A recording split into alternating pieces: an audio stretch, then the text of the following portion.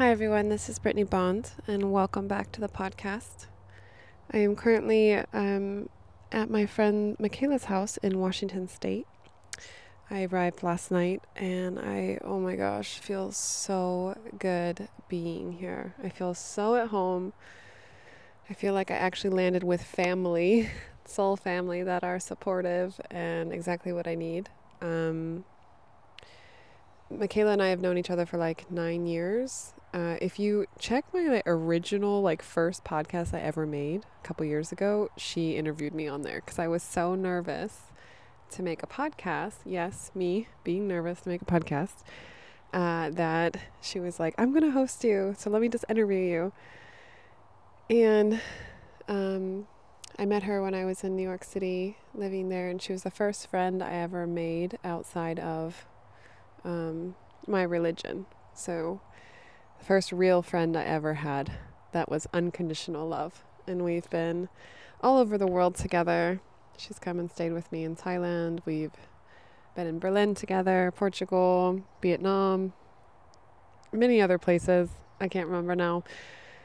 and now here we are in Washington and I literally have my camera set up on a tractor right now because I haven't bought a selfie stick. So I find that really funny. I am in farmland.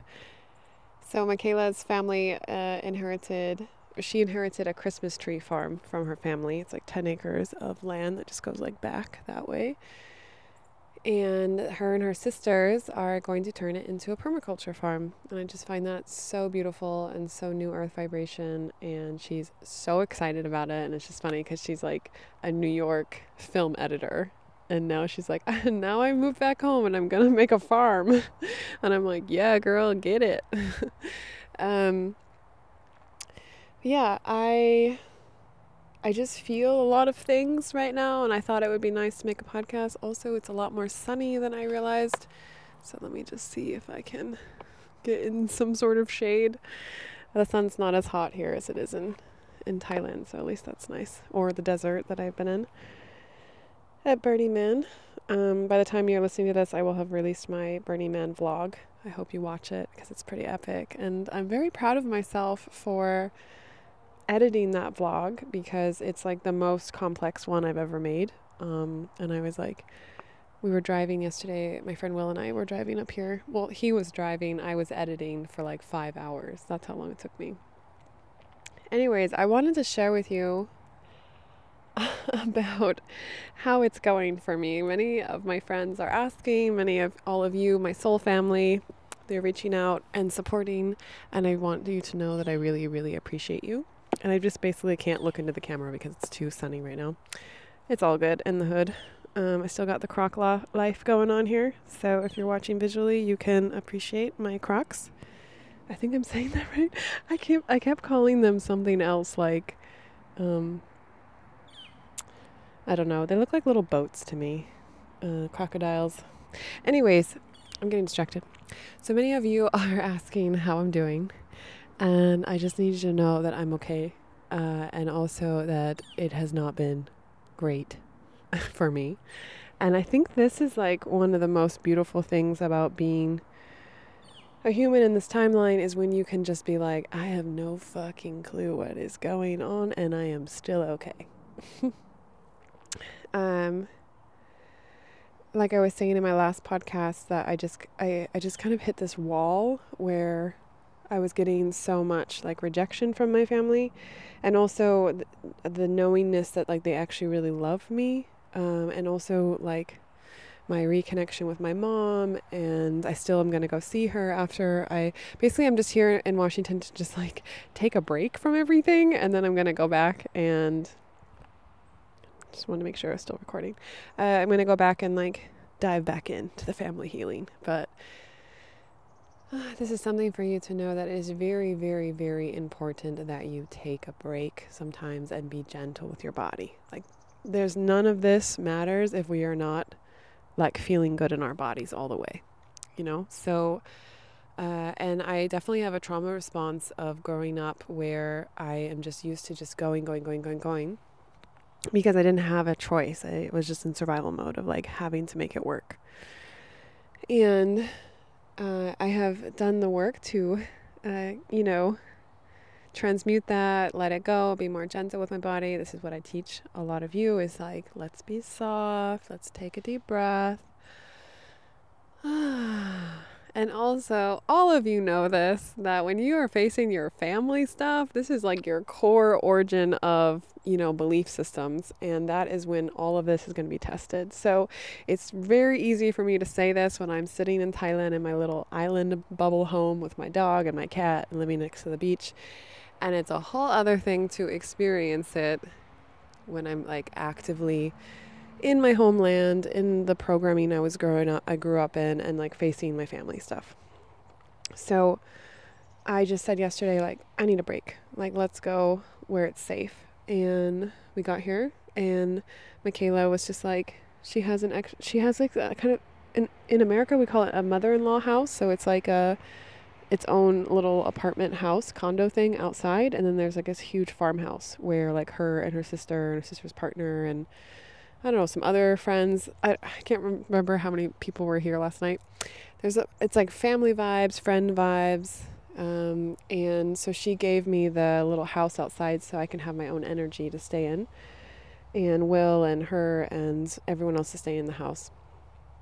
And like, just, you know, like just took care of me. Like by the time I got here, I was just kind of falling apart a little bit. And I was like, she's like, do you need some food? Here's a blanket. Here's this. Here's that. And, I'm just like, thank you, I love you. And it's really important that even all of us who are doing our best and are like being strong and choosing unconditional love, it's really important, especially that people have, like us, have support, that we have support that is actually supportive. I think that's really important to say. Do you have a support network that actually feels nourishing for you?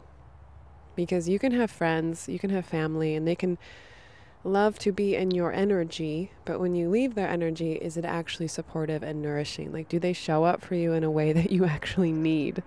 I've spent so many years where I have so many people around me, so many people want to hang out with me and be in my energy, and I was feeling more and more drained. I was feeling more and more just kind of like I wanted to run away because for me, that was the only option in order to recharge because the people around me at the time were not actually nourishing for me. And then I woke up to that and I got, you know, mentors and coaches and I realized that my energy is very precious and I need to protect it and I need to create safety for it and I need to choose people that are actually nourishing for me. So that's what I've done and I'm very grateful that I have built this soul family around the world. And it's funny because all the rest of my soul family were like, "Oh, you're at Michaela's house. Tell her I said hi." You know, like everyone's checking in, and it's like more and more connection and it's so beautiful and and then I like couldn't sleep because I sometimes when I hit this like overloaded processing emotionally, I just kind of start shutting down. And I noticed I was like, I never am like on my phone just like scrolling on Instagram. And I was doing that last night. So that happens to me as well as everyone else. And then I was like, okay, stop. So I meditated, I did some journaling, and I finally went to bed. And when I woke up this morning, I was feeling so emotional. I was feeling like I was on MDMA, like, or in a little bit of mushrooms. I don't know. Like, I was like, and I'm very sober, just to clarify this. Um, but I, I just felt like this was my big download was like, you know, I've done years of therapy and family constellations and psychedelics and la la la la, all the healing stuff in order to get to the point intellectually where I understood that my family was doing the best they could. Like, even now, they're doing the best they can. They love me. And, you know, they are choosing their sovereignty. They're choosing to give up their sovereignty to the religion in order to receive connection. And this is, before I go into this download that I got today, I want to say something that I forgot to say in the podcast yesterday was you know, I talked about how my family is choosing uh, the connection with the religion and the community and basically giving up their personal sovereignty. Like they said yes, they wanted to spend time with me, they loved me. And then when the fear kicked in of losing their connection to the religion or that community, then they disconnected from me. And um, so th- they were like flip flopping. And for me, that was really hard, obviously, to deal with. And I was really feeling into this. And the thing I wanted to say to all of you was like, do you this is a question that every one of us has to ask ourselves and we need to be honest with ourselves if we want to live a full life. I want to live a full life. Do you want to live a full life? Like i want to live a life where i feel fully alive and i feel fully in control of myself and i feel fully in my power so the question is are you giving up your sovereignty in some way and what does that mean Basically, are you choosing to not be your authentic self sometimes in your life in exchange for connection, in exchange for love, in exchange for belonging? Because each one of us, we have the like divine right to feel that we belong. We have the divine right to feel that we are loved and connected purely for being our authentic selves not for conforming to a religion, not for dressing a certain way or acting a certain way or eating a certain food.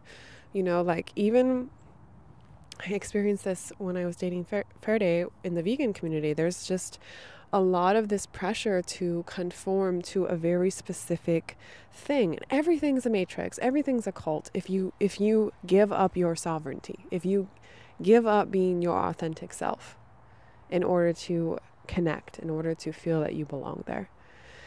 Because there is a place for all of us, for each of us, to feel like we are home, that we belong, that we are safe to open our hearts purely for being our authentic selves.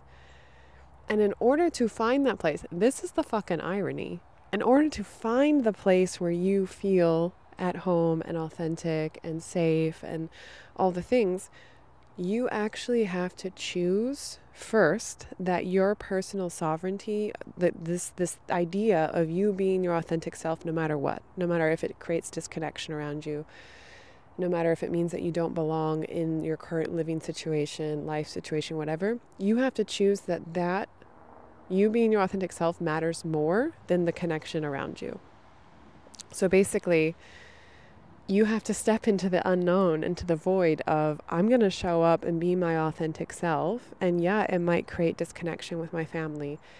It might mean I lose a couple friends. It might mean I lose all my friends. I have I have had periods of my life where I have literally given up my whole entire friend group. And people to this day are still upset at me that I do not hang out with them. But it's because me hanging out with them equaled me not being my authentic self. And for me, sovereignty is everything. Sovereignty, personal sovereignty, me being myself all the way, is the foundation of how I build the rest of my life. Because for me, if I don't do that, then I'm not living my life fully. I'm literally not allowing universal energy to flow through me in some way. Because when you get, this is the thing that might not land for some of you. If you understand this, it's great. If it's not, it's okay. But when you are your authentic self all the way, you are literally imagine your body is like literally like this vase or I don't know, a channel. Like imagine it like a circuit board. Okay, I think that's the better way to describe it because I, I describe human design like this. Like our bodies are literally like a computer processing circuit board. And when we are being our authentic selves all the way, the energy is allowed to flow through our bodies fluidly in a very flowy, like constant stream and go out into the world. And when we do that, then we are attracting in everything that we're meant to have in our life. Like the universe wants to give you every single thing that your heart desires. Your like family, friends, wealth, security, abundance, travel, adventure, whatever it is that you're craving. The universe wants to give this to you. God, source, they want to give it to you so badly. But the thing that is fucking with that is you not being your authentic self. Because when you're your authentic self, you're like the circuit board of energy that's just lit up. It's just like, it's lit up so bright that like nothing can resist coming to you that you desire. Like it just, like you, you want this car? Okay, it's coming. It's coming, you know, because you're just so excited and you're in such the knowingness and the trust that you deserve it and it's happening and whatever, whatever. I just said car because I'm looking at a car. But anything that your heart desires, you know? And I spent most of my life um, being my authentic self inside, so being spiritually awake inside, but not feeling safe to be that externally. So I was uh, my authentic self. Like I knew who I was. I knew I was connected to the, to the universe. I knew I had a source connection. I, like I was awake spiritually, right? But I wasn't my authentic self externally. And I think that's at least one step in the right direction because a lot of people have no fucking clue who they are. And also, they like, so then it's like a double whammy. Like, they gotta first figure out who they are and then they gotta be able to express that externally. Like, internally is first and then externally. But I knew it internally. And so I would spend many years like trying to find safe people, trying to find safety, trying to find safe places, people, situations for me to be able to be my authentic self and to shine. And when I moved to Koh um, the universe was kind of just like slap in the face, like, here's a breakup, here's a scooter accident, here's dengue, all in one month. And I didn't really have a choice. I just had to be myself because I had no mental energy or emotional energy to put a mask on anymore.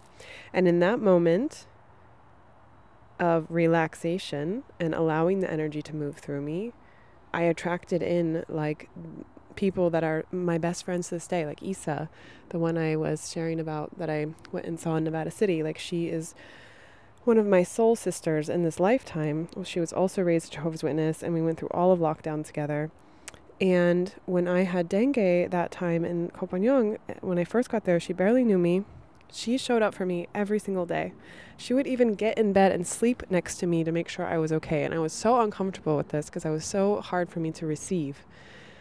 And she was like, No, I am worried about you. I want to make sure that you're okay. And I need to know if whether I'm going to take you to the hospital or not. And so I'm just going to sleep here.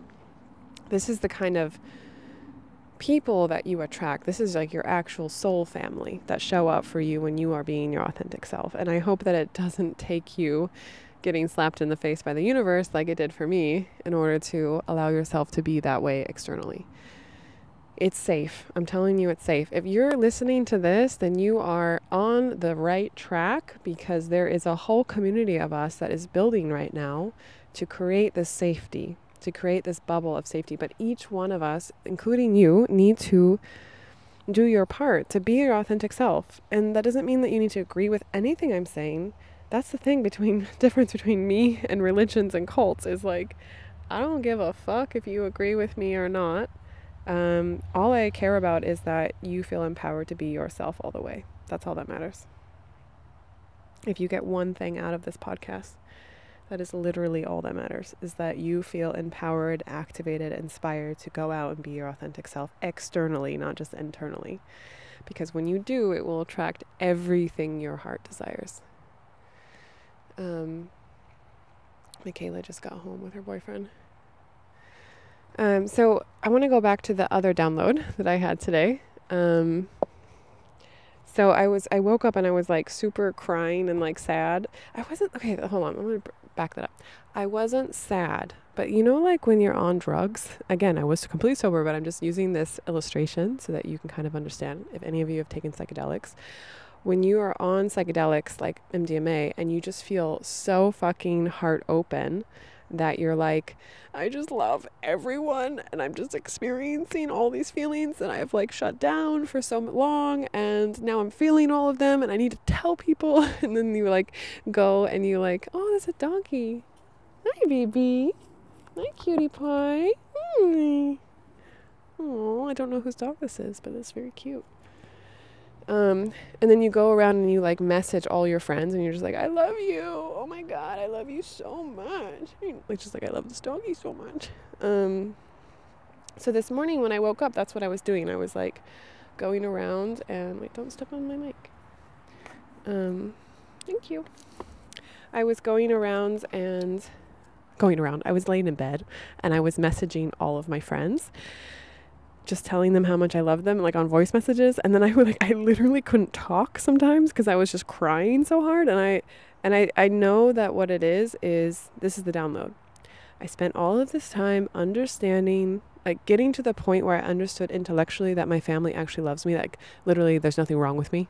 Cause like when you're a little kid and also when you're a young adult and like everyone disconnects from you, it's very natural to think, this something must be wrong with me because it's like my entire family and then me. You know, I have a couple cousins that are not in the religion too, but we're we're getting closer over the years. But back then, I wasn't very close with them. So, um, I created a belief back then that like something must be wrong with me, and also that I need to work for love because basically my family was unavailable emotionally. And so then I would get in relationships where I, the person was emotionally unavailable. Even my last relationship, like the person was very emotionally unavailable in his heart, you know, like this is a pattern I have. And then my my pattern is to work for work and um, work to get them available because that's just what I thought I had to do. So I just kept attracting that into my life. And so intellectually, I had gotten to the point where I was like, I know my family loves me. But basically, what I'm trying to say is now in my body, I understand wow, my family really, really loves me. And they're just, you know, doing the best they can. And they happen to be like the, my family goes, uh, both sides of my family are in the Jehovah's Witness religion at least four generations back, like my great grandparents who came over on the Oregon Trail. If you're American, you know what that means. That's very funny to me. This is like back in the 1800s. And like the religion was started in the late 1800s. So like it goes back far, right? So, and this is like an all encompassing world. Like a lot of people, my parents included, most of their work, like their actual money, comes from working for people within the religion. It's like everyone's sharing resources and like, you know, hiring each other and and also your social standing, you know, your whole community, like the people you marry, the people you know deeply, like everyone is in the religion. And so um, they are doing the best they can to stay within that community because that's for them what they were born into and that's what they're choosing and that's what they I guess they, they need in order to feel loved and belonging and that's great. I'm happy for them in the sense that they have that because actually in the com- in the religion the community is amazing. Like there's a reason why my soul chose to be born there so that I understood what it felt like on an embodiment level to have an entire community, a tribe have your back. You know, it's not about the money. It's like how are we showing up for each other? And um, my dad had cancer when I was young and we really didn't have money for a while and like everyone showed up for us. Like people would just like money would just show up at our door and people would bring food and like they would babysit my sisters and I and like just so many different ways that the community showed up and it really felt like uh, from a young age I was like, "Oh, I don't have to think about this all by myself." It's like we we're doing this as a community. And now I think the reason why I was feeling so emotional this morning was I was like from an embodiment level, I was like, oh, there is nothing wrong with me. Like, you know, like really, my parents and my my my grandparents, my sisters, all of my cousins, like everyone's just doing the best they can. And and like a friend of mine was saying yesterday, he was like, you know, your family loves you so much that they were they actually overrode their programming in order to express that love and in order to um, like genuinely and authentically share with you how much they loved you initially and it was only later that the programming kicked in. But like basically it's like they're in this fog and this cloud and like the programming is this fog. It's like this matrix that they're in, right? it's like Neo in the Matrix. You know, like when they unplug unplug people from the Matrix. Like basically, my my family like poked through the Matrix enough in order to share authentic love with me, and then they got sucked back in. You know, they got plugged back in. And it's okay because it showed me enough, like wow, from an embodiment level, the love is still there, you know, and I know that they love me so much, and and my reaction in my body is like one, again, there's nothing wrong with me, and there's nothing wrong with my love, and there's nothing like I don't need to do anything in order to receive love and give love. I am good enough just the way I am, right? And my reaction to feeling that was I just I just want to pour this love out to everyone that I love and share everything. And also what I found really interesting this morning was that it wasn't just my soul family I was connecting with or that I felt the calling to share like to, to message. It was people that I have, you know, had a conflict with. It was uh, a man that I connected with at Burning Man that I actually really, really was excited about, and then he didn't show up in a way that like made me feel safe emotionally. Um, and like sharing that vulnerably with him because like afterwards he did finally reach out and you know, we've been messaging back and forth and I could tell that like my I could tell that my emotional okay, so this might be a Scorpio thing, but like um I am basically super heart open and then if someone crosses a like a standard, if they go below the standard of how I deserve to be treated, I just kind of like I'm just like we're done. It's like, you know, wash wash my hands of this person. And in the past I wouldn't say anything to them if they weren't like super close with me. I would just be like, "Okay, well, you know, we tried, you know, like bye. And and and if they keep reaching out, then I will like respond, but it will be like very emotionally distant. You know, it'll be like, yeah, it's nice. Great to see you. Yeah, uh-huh. but I'm not actually there. You know, like I'm saying stuff, but I'm not actually like emotionally present. And I realized that this is not who I want to be. Like, um, and I real also realized that like literally every single situation that you feel called to, like only if you feel the excitement for it, is an opportunity to share this unconditional love, like for yourself or for the other person or both, right? So, for me to message this guy that I met at Burning Man and just share with him like I just want you to know this is really vulnerable for me to say. And like, I, I really honored the connection that we had because my, my, one of my intentions for going to Burning Man and for coming out to the States in general was like, you know, I'm, I'm 34. Like, I'm ready to have kids. You know, I'm ready to be in a deep partnership with someone where we're like building a new earth together. And I'm also fucking good on my own. So it, this person needs to like meet all of my standards and like make my life way better than it currently is because I know that that's what I'm going to give to them. Like like like you know all of my past partners whatever they have to say about me their life changed fundamentally and exponentially for the better by meeting me. And i know this is the energy that i give off or i give off i give to the person that i'm in love with. So when i went to burning man meeting this guy suddenly i'm talking about this guy I really like him still, um, but um, I'll just share the story because it's super cute, and I think that you will you will also resonate because everyone I've been sharing the story with lately have been like, "Oh my god, it's so cute."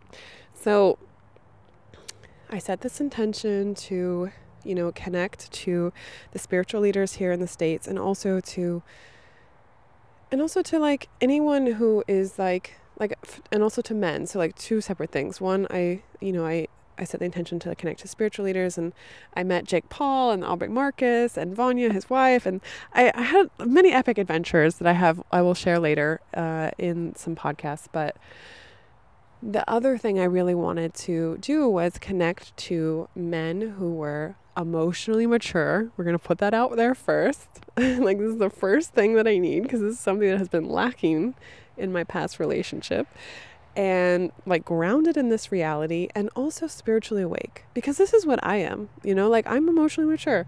I am grounded in the 3D reality. I am also fucking spiritually awake. I understand the timeline. I know what's happening and I'm here leading the way just by my beingness, right? If nothing else. And it was really exciting because okay, so this is a story.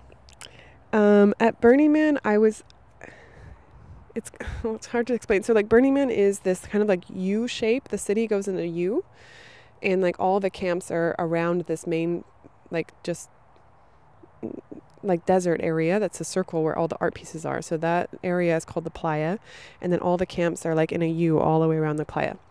And I was at the top of the U, and it goes like it's like a clock. It goes like you know one to twelve. I was at two, and uh, the other side of the camp ends at like seven, right? Uh, or nine. It goes all the way to nine. And so, like, the, the what I'm trying to say is, usually what happens is you stay in kind of your own area because it's like seventy thousand people, and it's there's things happening everywhere all the time, all at once, right? So.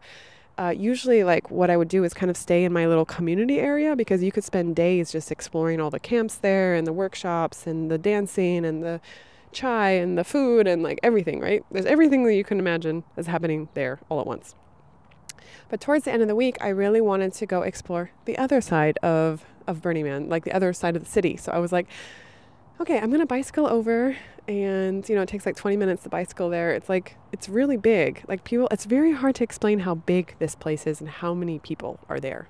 Um, so, anyways, the, one of the last days, I said to myself, I'm going to go over the other side. I'm going to bicycle and I'm just going to open myself up to whoever I need to meet and just have the best time ever. And I did have I had a great time. Like and I loved going by myself and just having these like individual explorations where I'm just like, I'm vibing. I want to stop here and look at this thing. Oh no, okay, I'm ready to go. I get a matcha. I randomly ended up at a, cha- a cacao ceremony and I connected with, you know, like the, crystal, the white sound bowls. I asked the lady like that was there. I was like, "Can I play these?" And I was like playing them and like putting my ear down and like listening to them. And I was I was on cacao, like I just drank cacao, so my heart was super open. I was activated, and I was like, I was really playing them. You know, I grew up playing drums, so for me, like vibrations. But this was the first time I really connected to the sound bowls in a way where I was like, this is a spiritual experience. Like I've received it, but it was the first time I've like given, like like worked with them to give that out, and people were coming up to me and being like, "Thank you, thank you for the sound healing," and I'm like, I'm just messing around here, but that's a whole other side story. But I'm just trying to say that, like, I don't, well, and I also want to say that I'm going to buy some of those when I get back to the island because it was really magical and I really enjoyed it playing with those. But anyway, so these were like little fun adventures I was on, and then towards the end of the afternoon, it starts to get really hot. Like basically, the hot, the heat builds up throughout the day, and then I usually go back to uh, my camp and take a little rest before sunset because sunset's so beautiful in the playa. There's dancing again. Like sunrise and sunset were my favorite. And so I started bicycling back, and I was hot and tired and suddenly I hear like some really good hip hop music and I was like you know I just pull over I don't even like lock my bike and I just like oh I'll just dance for 5 minutes. And there's probably like 5 people on the dance floor and there's tons of people in this one camp. So all the camps are um, inclusive. Like everyone can come everywhere, and they're always trying to get you to come to the party. But at this one, like a lot of people were resting because it was really hot. So there was like tons of beanbags and couches, and people are just lounging around, like smoking and talking and having a drink or whatever. And there was like, yeah, like five, maybe 10 people on the dance floor. And so I just kind of go to the side and I'm like dancing, I'm vibing. And I noticed that there's this one guy, he's like very tall, which I love and he's got a lot of tattoos. He's white, which is not normal for me. Like, I actually don't normally date, white men, I usually date brown or black men. Um, just happens. I think they love me, I love them. um, but, anyways, so he was dancing in a way, the same way that I was dancing. Like, I love African music, I love hip hop music, and I was just going for it. You know, I don't need any drugs or alcohol for me to dance. I just let the energy flow through me. And there was another woman there, like near this guy, that also had a lot of tattoos, and I thought they were together. So I was just like, and I was good, you know, like I was doing my own thing. I was like vibing hard. I was having such a good time. And there's these moments when you're at Burning Man where you're just like, oh my God, is this my life? Like, this is like those moments where you're just like, you feel so good and so excited and so grateful for life that you kind of want to cry and laugh all at once. I was having one of those moments by myself on the dance floor. So then this guy comes over and he's like, he just kind of like starts like, you know, vibing with me and like kind of, you know, through his body language, like, do you want to dance? And I was like, yeah, cool. And so we were dancing together. And then we just got in sync like perfect synchronicity. And when a guy can dance really well, it is such a fucking turn on for me because this is also a thing with most white men cannot dance. You know, they kind of just shuffle or they do like weird weird eccentric movements, but it's not according to the beat, you know? And like my whole body is like you know, I have had it um, channeled that I've been African in many, many, many past timelines. So, like for me, like when music, especially African music or hip hop, my whole body just starts moving in a way that is you know, divinely aligned. I don't know how else to say this. And I don't mean that in a stuck up way. I just mean like I love dancing and I love it when someone else is a really, really good dancer. So we were dancing and we were having so much fun and everyone was watching us and smiling because like we were just having so much fun. You know, like one of that kind of fun where it's just like contagious. Um, so and then it you know i'm on my way home so i was really hot. And i so i was like i just told him i'm like i need to get water you know like i had already run out of water. And you really have to drink a lot of water because it's the fucking desert. So uh, he came with me and we went and found some water and then we sat and talked for like hours just like on the couch. And it was so natural and so flowy and like i put my legs up on him and like he was like you know massaging my leg and and just like looking deep in my eyes and like we were just having a good time. And we were talking about a lot of spiritual things and like there was so many times where one of us would say something like about Atlantis or you know what's happening in the world or you know our soul mission and the other person would be like oh my God, I literally say the same thing all the time. Or like, you're the first person that's ever said that out loud, and that's how I feel, you know? And so it's like this click, click, click, click moment. And then it would get to this point where we just kind of look at each other every once in a while and just start laughing because we're like, what is happening right now? And he also told me, he's like, yeah, I was on my way home to my camp and I just heard the music and I had to stop. Uh, like he was only there like five minutes before I was. So it's just all very, very, very universally aligned, very synchronistic. And he lives in California. Um, and he's like, it's just cool. Like we just had such a nice connection. He's like, yeah, normally I actually hang out by myself because you know, it's hard to find people that to connect with on this deep of a level. And we just like went straight into it.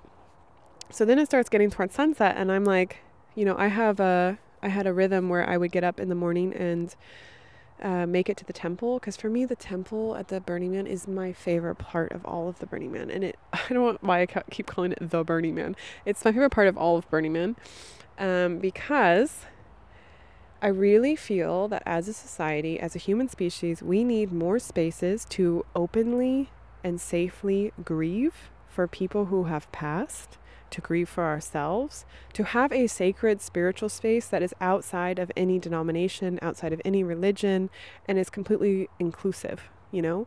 And also a space where it is like welcomed and encouraged for you to connect with the people around you. So, like any given day when I was there, um, like I would just sit next to someone and meditate, and then we would start getting in conversation. Like one day I was there, and this guy was like, this from the second I ended up talking to him, like I was like, "Can you watch my stuff? I need to go get my water out of my bike." And when I got back, he was like, "I just want you to know from the moment you walked in, I could feel that I needed to talk to you." You know, and this wasn't a romantic thing. He was just he was like this older guy, and he was just like, "I just feel like there's some reason why I need to talk to you." And so we started talking, and I shared with him like you know, I made a shrine for my friends, and let my friend Kane um, passed away last year from suicide, and he at 28, and he's like, oh my gosh, I. Um, I tried to kill myself at 28. I jumped off a bridge, or he jumped into a a cavern. Like he just he jumped off of something. Like yeah, I think it was into a cavern, like into a river, and he woke up and like everything was broken, and he was like upset that he hadn't died. You know, and to this day, he still tells his mom and like a lot of, of people that are close to him that it was an accident that he fell. And I said, but yeah, you're, you're, I shared with him that he's not fully honoring, honoring his experience, his authentic experience by not sharing this with the people that are closest to him. And I mean, he apparently, um, this guy, this is a very tangent, tangential thing, but I thought the story was really nice. Like, he's like, I do uh, work with like kids um, that are in like uh, like foster homes and kids that are having a rough time like he works with them and he share he does share his story authentically with them that like it's okay if you've gone through something rough or you're in a dark place. Like i was there and i got through it. And i said yeah that's amazing that you're doing this for them because i really believe our biggest heartaches are the biggest gifts that we can give the world and also to give yourself a gift. It's really important that you're able to be your authentic self with your mom. He kept talking about his mom. I was like, with your mom, especially, because otherwise, a part of you is not going to feel like it's coming home all the way. And he just started crying like so hard and we like had a really great hug. So like for me this was stuff that was happening every single day at the temple and it wasn't just me like you would see someone just burst into tears cuz you're reading like everyone can write on the walls and also people can bring stuff so pr- bringing like photos of people who have passed and shrines and different just different things. And when you're just sitting there and you're like walking around, you're reading stuff, it's just so natural to just grieve. And I think it's really important that we, as a society and as a human race, like grieve together you know? And so i would really see so many people like just burst into tears and then someone standing next to them hug them and then they would get in a conversation because i think a huge part of the human experience is being um, witnessed in our story. So like say you have someone who's passed away like as a society we are not encouraged to talk about people who have died. And um, and it's so important to do this. It's so important to honor the people that we love who have passed away. And I really invite you that if someone is talking to you, like in the future, about someone who's passed away, to give them space to talk about that person, to ask them what was your favorite part of that person, or what did you love about them, or what do you miss about them.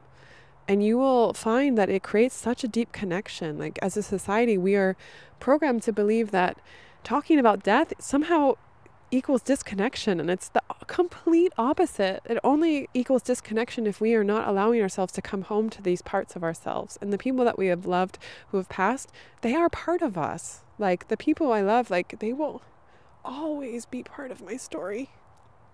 And they will always be one of my biggest motivations to like shine my light so brightly because yeah, I want to do it for them.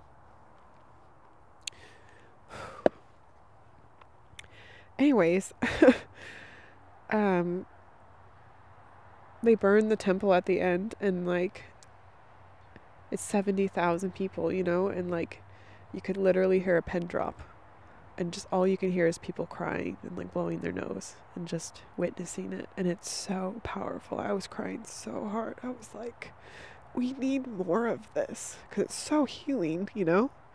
It's so, so healing. Anyways, so back to my story with this beautiful man.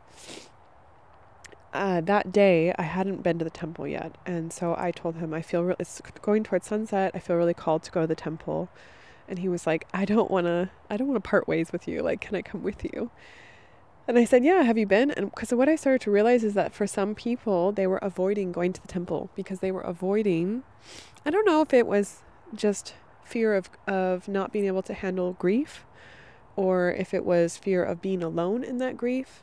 Probably a little bit of both because uh, I had multiple people tell me that they were like, they couldn't go to the temple. It was really hard for them, or they needed a friend to go to support them because they were worried about what was going to come up, what was going to happen within them emotionally. And I recognized that was what was happening with this guy. Uh, he was like, um, he said that his brother had passed away and and some other friends like a lot of friends had died recently and he hadn't been there yet. Um, and this is getting towards the end of the week. I think this was like on Friday, and Burning Man ends on Sunday. So I said, okay, well, we can go together. So we went, and it was really beautiful. I ended up like hosting like a guy like sitting right in front of us, which just started like sobbing. So then I like was there, and I hosted him for a little bit.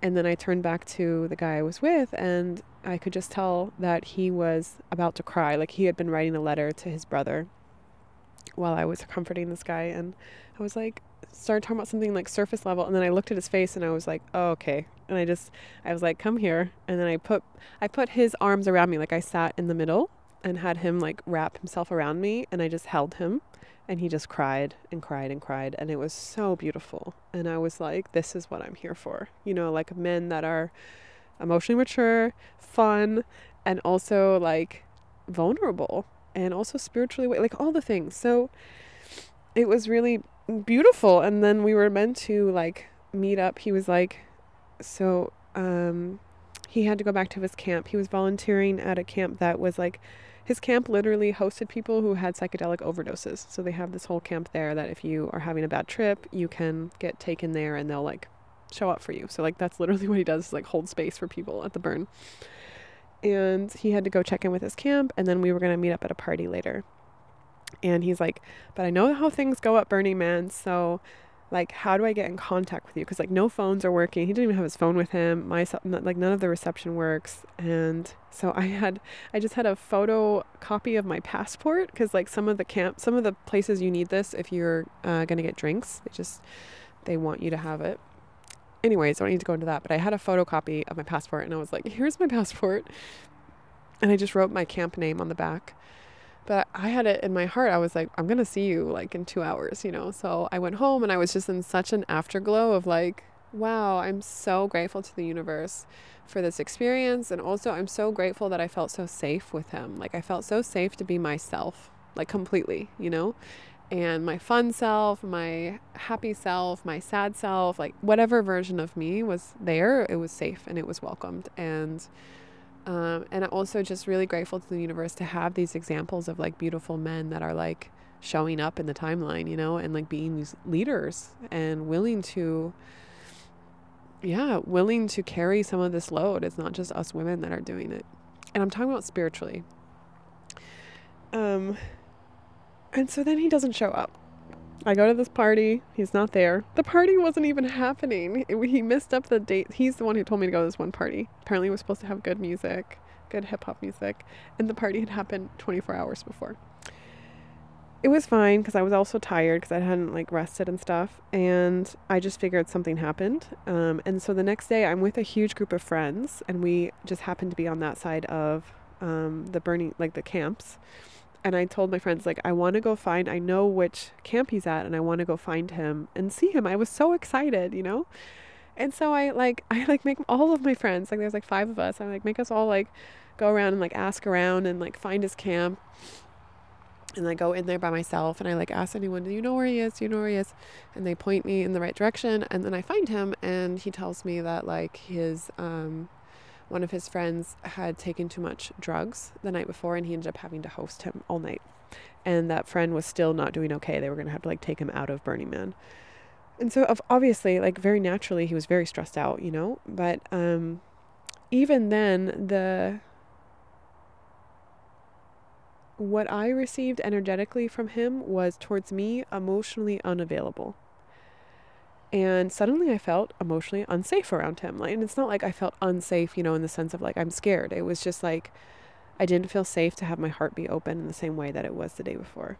And this was really interesting for me to notice because I was so excited. You know, I was like, wow, like even if we just end up being friends, you know, like I'm just so excited this person exists. And I'm so excited that the universe brought us together. Like I feel like it's like literally destined in the universe. So, anyways, I tell him where I'm going to be like later that day at a party, and he doesn't show up. And then, like, days go by. And I end up, I even end up in his city. He lives in Nevada City. I even end up there for a couple days, you know, just like hanging out with my friend Isa and other friends, meeting out at the river. And it's a very small town.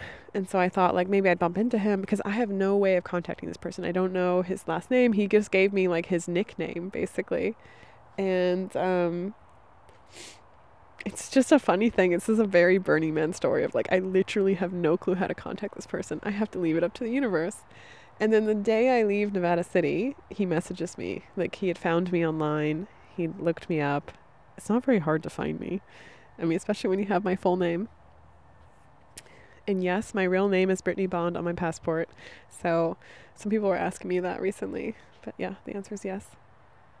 So, anyways, he finds me and he just messages me, and we're like messaging, and you know, nice, and you know, like, how are you doing? And it's great. And I and I even said like, oh, I, he he was like, that was such a beautiful experience, and like I love. Oh, and we kissed at the temple. Was, there were so many magical moments with this guy.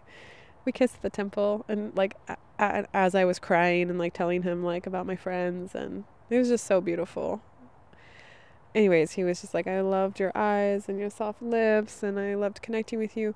And still, I felt this disconnection in my body when we were talking the last couple days. And this morning, so this is full circle, my story. So this morning, I woke up and I was like, I need to be authentic with this person. I need to actually tell him what's really going on because I realize I'm going into a trauma response of me becoming emotionally av- avoidant myself, just kind of like cutting this person off, like emotionally, even though I'm like, oh, I'm answering and I'm acting like everything's normal. It's not, you know, I need to speak up, I need to say something. So, in my own like nice, vulnerable way, I shared with him, just like, I just want you to know, like, I really honor this connection, and it was one of the highlights of my Burning Man. And, and even if like this person, even if this guy isn't you know, my divine masculine equivalent, it showed me I'm on the right track. It showed me I my vibration is attracting beautiful men into my life that are like showing up and doing the thing. And also sometimes I think the universe like right when you're very close to getting what you want, it kind of tests you. Cuz this guy was like on paper and vibrationally felt amazing and was great. But there was this moment where I oh, I felt unsafe emotionally. And in the past I would just override that and I would just keep going and like try and get closer to this person and just be like, I'm fine, I'm fine, I'm fine. And I'm actually not fine. I'm actually like, this is not okay, you know? Um, and it's like, it's not that this person is bad, it's just that they don't meet my standards of someone I want to connect with romantically. And so this is what I told him. I was like, you know, the person that I choose to be with, like they're gonna like go to the ends of the earth to find me and track me down and and like mind you, like like the day that we were connecting, he was literally like I want to go on, I want to come on this road trip with you. I can show you around. So he was like saying all these things. And my ex also said all the things, but like the actions. The actions are really, especially with men, this is why I'm realizing the actions. This is probably everyone, but I'm talking about romantically, so I'm talking about men. Uh, the actions of how they actually show up in your life is what really matters because people can say whatever they want to say when they're happy and they're in a good place and they're feeling resourced but are they going to show up there are they going to show up exactly the same even when they're not resourced? Or at least they're going to let you know. At least they're going to communicate you know so that you feel safe and you understand what's happening the whole way through. So um, anyways i shared this with him. He hasn't responded yet so keep it posted. I don't know if he's going to listen to any of this podcast. If you do listen to this if you're listening to this shout out to this beautiful man. I'm very happy that you're in my life and i'm happy for this connection. And that's the thing. This is what i told him. I said i'm just so happy that i met you and i'm happy what I realized after my last relationship is I think my ex and I, we both loved each other so much that we were afraid of losing each other. And therefore, we were not all the way vulnerable and like emotionally safe for each other. We were always like putting up these little walls with each other. And then because of that, it felt like I didn't actually have a best friend because it was like, I don't know how to put this into words. Oh, loud bike. Sorry for that. it's very loud. Okay, anyways. I don't know how to put it into words concisely, so I'm just going to do my best, but it's basically like um, when you're raised in a trauma responding like develop trauma environment, like um, the person that you love growing up, so like say your parents, you love them, but they're also hurting you in some way. Like they're causing trauma by not being emotionally available or maybe actually being abusive, right? And so the people that you're attracted to are not actually, in the future, usually, this is what happens. In the future, the people that you're romantically attracted to are actually not safe people or you don't feel safe with them. And so you're not able to like drop in in the same way that you would with like your friends or like people you feel safe with. And the reason why we're attracted to people like this when we're adults is because we want to heal this original trauma how trauma gets healed is that you attract someone into your life that is close. They're creating a situation that vibrationally and emotionally feels close to the trauma that you had growing up. And then your body and your psyche is hoping to have a better solution. This is how trauma gets healed. So it's not bad that we attract these people into our lives, but the point is to heal it. The point is to be like, oh, I see what's happening here. And I choose something else. I choose actually to love myself and to be around people who are emotionally safe and also to speak up when I don't feel emotionally safe. So,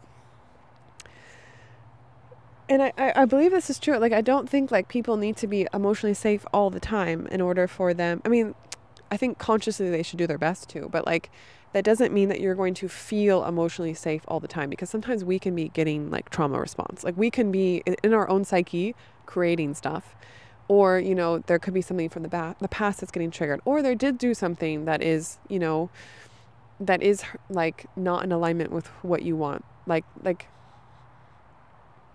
like I'll give this guy as an example like I would have loved for him to be more communicative um, to to at least like energetically un- help me to understand that he still was there and he he like like in that moment when I saw him the next day to be like I just want you to know I really honor our connection and I feel the same way I felt yesterday and to like, you know, be in alignment with everything he said. Um, and also, I was having a trauma response to it because it was this opportunity for me to heal something, you know? And so I recognize that,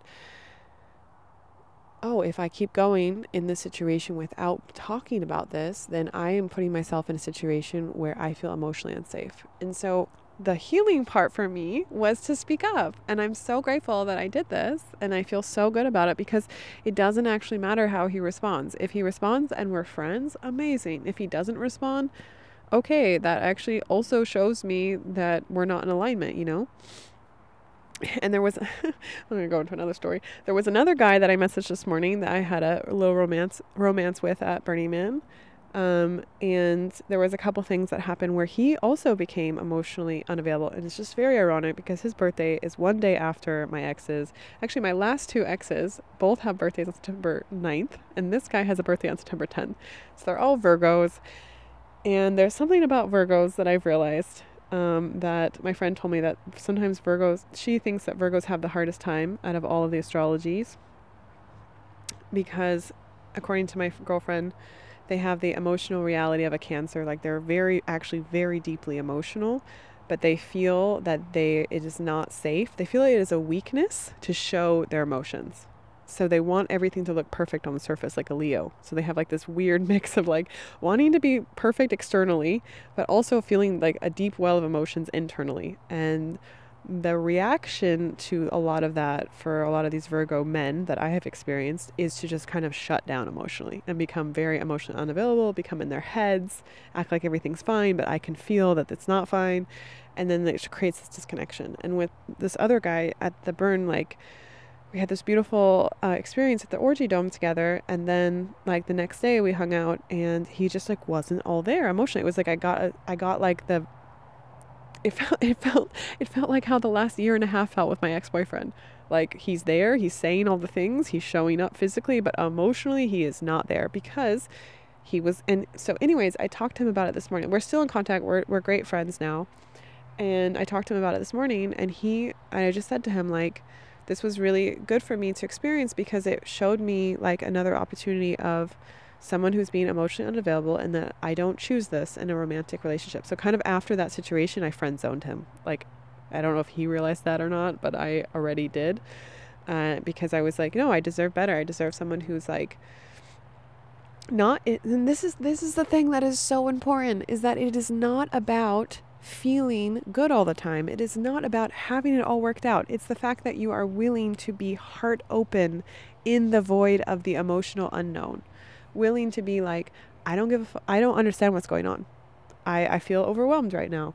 Or I feel like I'm just processing a lot in my body. It's like it's the communication of whatever is happening in your body with the person that you love that's standing right in front of you that can tell something's happening in your body and having that connection together of being in the unknown together.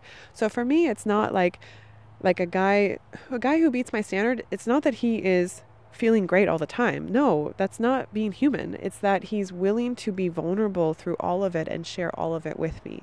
The, you know, the you know, I'm not feeling good right now, or I feel overwhelmed, or I'm just having feelings, like share them with me. Let's do this together. To me, that is the most important thing. That is the heart open. That is the unconditional. Because when you are willing to be that vulnerable with someone, that is when you are able to understand what unconditional love is. Because for me, unconditional love is I love you, no matter if you're having a bad day or a good day, a sideways day, whatever, whatever. I love you. I love you. I love you. So, like, let's just be in on this experience together. And I know it's so vulnerable because even for me, I had a friend tell me the other day, like, Josh, I was talking on the phone with my friend Josh, and like, he was like, Brittnee, how how do you react when you feel vulnerable? Is it easy for you to share with people, hey, I'm feeling really vulnerable right now? And I was like, ooh, that is a very good question because it's very rare for me to feel like vulnerable to the point of like emotional overwhelm. Like usually I can talk myself through it, I can journal about it, I have tools, I have resources that I've learned over the years.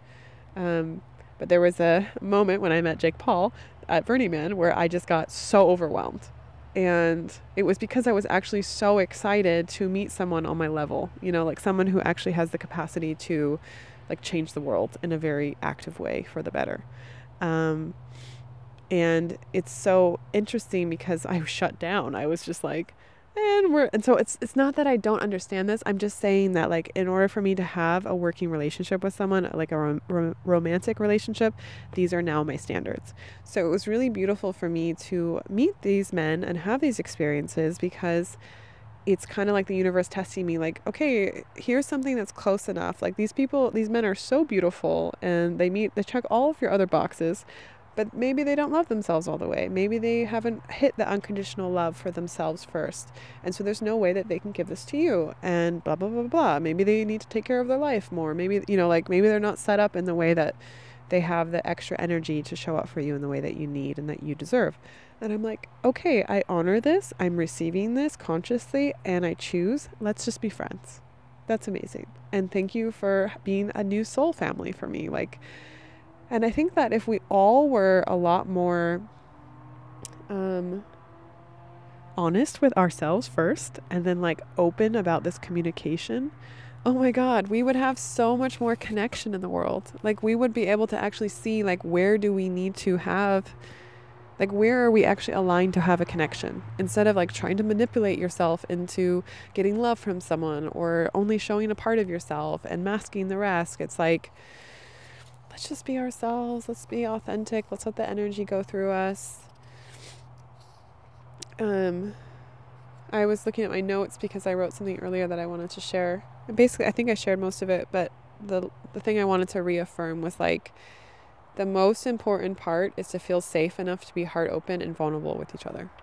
Like if you are able to do that with the people that you love, fucking mission accomplished. Good job. You did great. And if you're not, then I invite you to take the lead on that. Like this morning, and I said in this voice message, I was like sending voice messages and I was like literally crying and I was like having a hard time talking. And so to the guy that like uh, I talked about, the second person I talked about that has the birthday close to my ex, him and I are already at a level where we're like fr- we've friend zoned each other and we're like we're good, you know, like we're really good friends now. The first guy that I talked about, I sent this message and I'm like, I told him like I'm just kind of losing my voice and you know I think I couldn't even tell him like how emotional I was because it really actually wasn't about him and then like and we're not in a place where I can even explain all these things and so for, oh my god it was so vulnerable sometimes when I think about things that I do, I'm like, did I really just do that? And also, I know I it's like a really big thing. I'm doing great. I'm just going to give myself a little words of affirmation there. I'm doing great.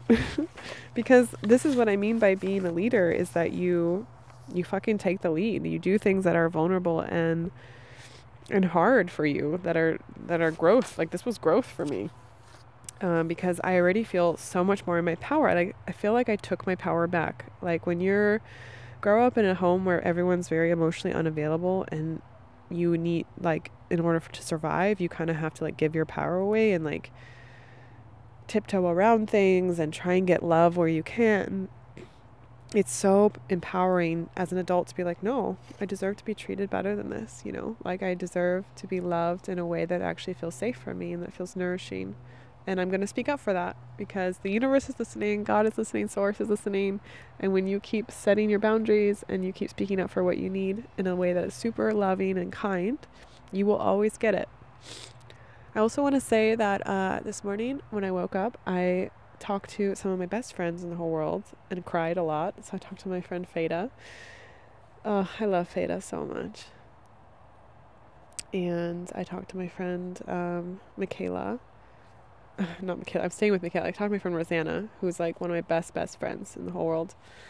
And she was telling me that she had like a mushroom trip recently, and like I was in the mushroom trip with her, and we were just like in the 5D, like showing everyone unconditional love. And like she was like, I just really understood how like people have a very hard time staying in this unconditional love because they have negative beliefs that they're not worthy and that they're not good enough and they basically don't deserve this love just for being a soul in the timeline, which you all do, you know?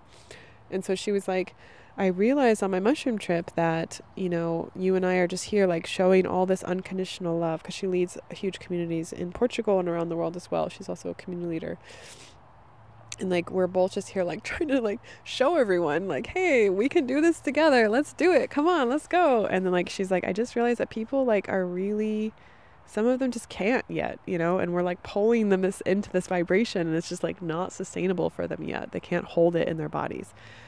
And this is when I was getting back to what I said in the beginning is like when you have negative beliefs, you're literally causing constriction in your body. So, like if your body is this circuit board, you're causing constriction in your body so that the energy cannot go through. And so, therefore, you're not able to hold like this higher vibration. I'm getting pretty esoteric here. My my girlfriend Daria says that I get esoteric about energy, but for me, this when I close my eyes, I literally see this energy moving through people's bodies. Uh, so for me, it's not esoteric; it's very literal. Um, and I wish that uh, people understood that energy is more literal than we realize, and that when we can align the energy in our bodies that everything's going to happen for us. So, anyways, while I was talking to both of them, I was out literally picking wild back blackberries here and picking wildflowers. And it just made me so happy because um, I grew up, you know, every summer in Oregon and Washington, and they just have, you know, like blackberries here, wild blackberries are like weeds for them. Like it's actually very hard to get blackberries out of your yard because they have thorns and they just grow very invasively. and because of that, like literally everywhere you go, there's just blackberries. Like on the side of the road, you can just pull over and there's just like fields of blackberries, and everyone's just picking everything, and it's okay. Like no one's like, "Those are my blackberries." Like there's an abundance of blackberries everywhere, and people are trying to get rid of them. So growing up as a kid, I would spend every summer going out with my cousins and just eating blackberries to the point where our stomach hurt. like we just ate so many of them, and um, and then our my mom and my aunts would make like blackberry cobblers. So, anyways, I just feel like a little forest nymph here. My nose is stuffy. I feel like a forest nymph, like just wandering around the forest, talking to my soul family, eating wild blackberries, and my my hands are getting like black or purple, whatever, black, purple. Um, and I'm just really grateful to be here. Um, we're gonna go to a ecstatic dance tonight. I think I need to go because I think we're gonna head out soon and um, there's one like they live like 20 minutes outside of Seattle, so there's a big uh, spiritual community here, and I'm really excited to go dance. Um, there's more that I want to say, but I feel like I'll say it in the next one. I'm sending you all lots of love, and I I know that you're gonna have an amazing day. I'm manifesting this for you, so wherever you are in the world, I invite you to go connect to nature some at some point today fucking hug a tree. I'm not joking. It's very good for you. Just say thank you to nature, even if it doesn't. Under- if you don't understand it on a more emotional, spiritual level, if you just do it, I think it will make you feel better. Okay, I will see you in the next episode.